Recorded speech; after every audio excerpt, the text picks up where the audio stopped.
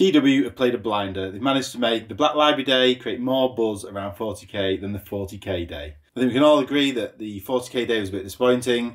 The Black Library Day yesterday was really well prepared. They came in with a massive announcement about new models, and when that set a real buzz for the rest of the preview. And to be honest, I do and really enjoy the Black Library books, and there's some amazing authors, some amazing titles. So I think it deserves a lot of praise. So first, the big topic: the new guard models, and not just any old guard, but Gaunt's Ghosts.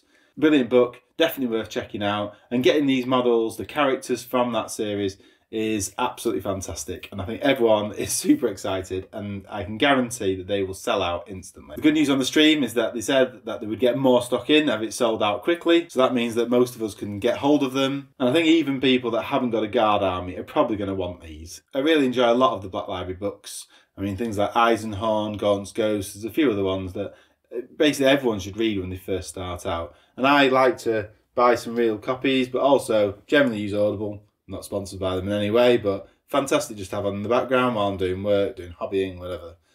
One criticism has been that there's not been enough Xenos type books. There's some more announced in this preview.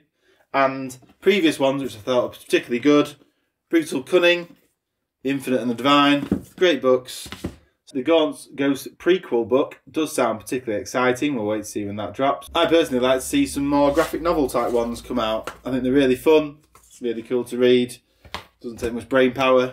I'm not that worried about all the special editions of books and special collector's items. I just think it's good to see the content and hopefully come straight on to Audible. Anything by Dan Abnett is generally really good. And if you're particularly interested in starting out in the Black Library, I've put my favourite suggestions in the description below. So check that out if you like. Let's hope we get a really positive 40k day on Friday and an exciting update on Saturday. Fingers crossed.